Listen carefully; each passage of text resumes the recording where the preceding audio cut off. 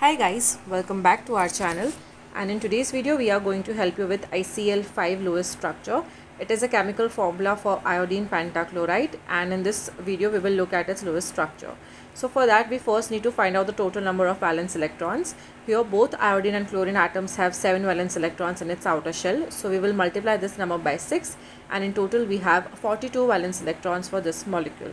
Iodine here will take the central position and all the chlorine atoms will be arranged around this atom like this.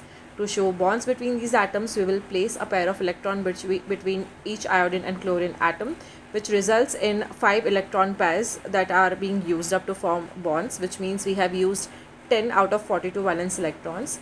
Here if you look closely, each chlorine atom requires 6 more valence electrons to have a complete octet. So we will place 6 valence electrons around each chlorine atom and that way we will be using up 30 out of 32 valence electrons.